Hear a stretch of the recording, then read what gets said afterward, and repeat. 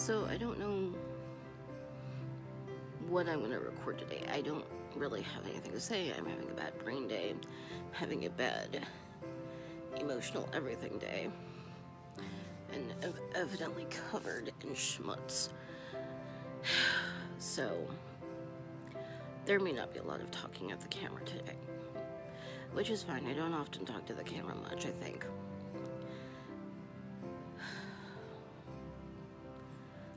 So, yeah.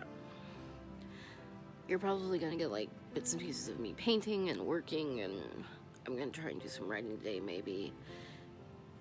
I need to do the, the comic. Uh, yesterday was particularly bad on my brain, and I just totally space cased doing the comic. For those of you who don't know, I do a comic called the a comic called The Adventures of Squid and Barnacle. Today is a giant smoothie kind of day, but I think I may have gotten a bit overzealous.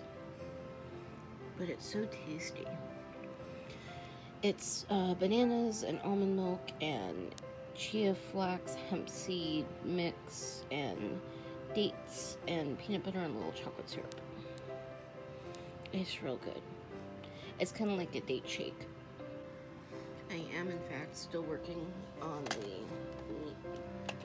on the dead bird dead Victorian bird cards. They're coming along.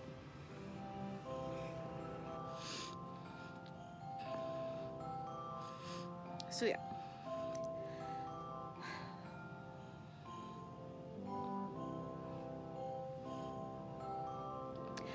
I'm gonna go.